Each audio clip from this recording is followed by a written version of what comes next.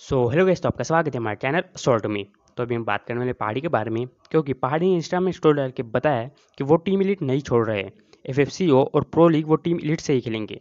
इससे ये पता चलता है कि एफ़ एफ़ सी और प्रो लीग पहाड़ी टीम इलिट से ही खेलेंगे, लेकिन उसके बाद खेलेंगे नहीं, किसी को नहीं पता।